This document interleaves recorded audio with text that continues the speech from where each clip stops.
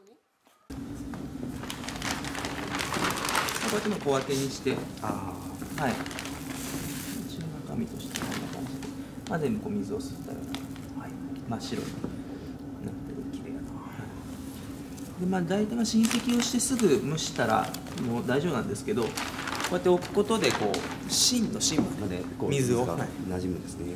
馴染むようにしてあとまあ余分な水分を切ってあげる。方式なんですけど、まあ、大体これで最大600キロぐらい、600キはい、お米を蒸せます。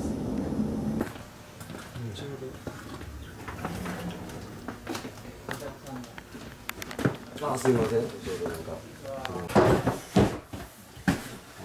今朝種付けをした麹米を、これをこうはい。丸めて。そうですね。ああれですね足すんですよね。何が？一応比べてたけどはい。今実はあの東京農大から学生が来てあとプラス2人うんはい。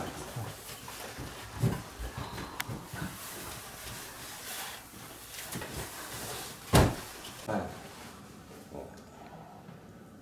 木桶でこうやってるので木の香りもするような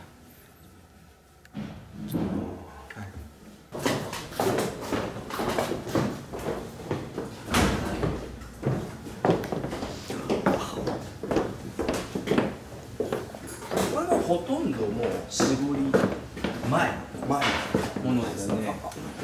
プチプチプチプチわかる見えるあわあ。プチプチ。もうこれも本当に酵母が息をしてアルコールを出してくれるとですね。こっちの方が多分見てて面白い。わあちらの方が若いもろみですね。これとこれとこれが同じ種類です。あそうなのはいこのこの3つ同じ種類なんですけどあの仕込んだ日が違うのでこういった形になりますものすごいうわーっていう感じなんですね。へ泡なしだと全体にいるので、はいはい。もう早い段階から全体にまんべんなく。そうなんです。よなんでグラフで書くと泡なしだとこういうアルコール発酵で泡ありだとこういうアルコール発酵。